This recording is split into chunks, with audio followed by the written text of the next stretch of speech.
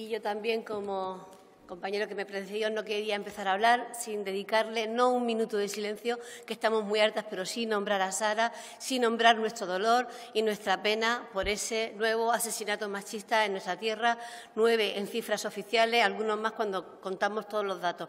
Y recordarle que en Canarias sí incorporamos ya en nuestra ley de violencia de género en el año 2017 el convenio de Estambul, donde sí se recogen todas las víctimas de violencia machista, no solo las que vienen, eh, han sido asesinadas por manos de su pareja o su expareja, y donde también se reconocen a los niños y a las niñas como víctimas de violencia machista, no por agresiones directas hacia ellos, sino solo, que no es poco, como testigos en la familia de la violencia que perciben sus madres. Es decir, nuestra ley está mucho más avanzada que la ley estatal y estamos esperando que por fin podamos tener un gobierno y actualizar también para que tenga el rango que necesitamos. No podemos hablar de mediación familiar y de puntos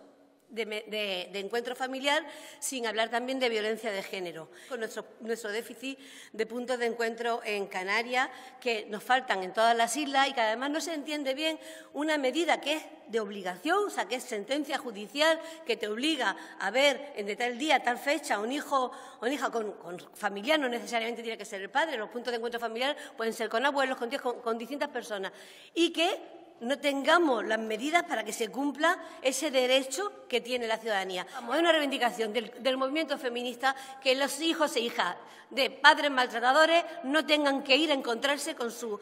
progenitores o con sus padres. Y, lo es, y además eh, esperamos que también a nivel estatal se, se pueda cumplir y con una razón muy sencilla. Si los niños están reconocidos como víctimas de violencia, es contradictorio que a sus madres se le impongan órdenes de alejamiento y a los hijos, a los hijos y a las hijas órdenes de acercamiento.